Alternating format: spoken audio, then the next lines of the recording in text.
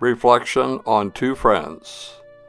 Four legs amble, sometimes synchronized, but often not, testing the path with every step, caressing the pavement with each tentative toe, enjoying the bright sunshine and flower strewn ways. A simple activity, but so much more.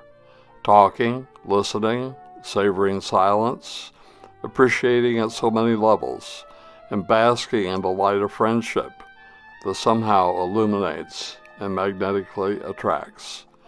Yet not a friendship that burst so quickly to life, but one that slowly grew, like the gleaming dawn of a new day, built on caring, understanding, and complete wonder The two so different people might have a closeness of spirit and deep communication.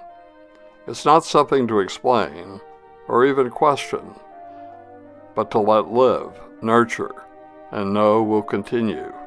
A hidden garden full of mysterious and sweet blooms, a forest of deep rooted trees, a softly rippling glen of ferns, wonderful, compelling, lovely, exuding quietude, tender mercies, a heady fragrance, but mostly peace.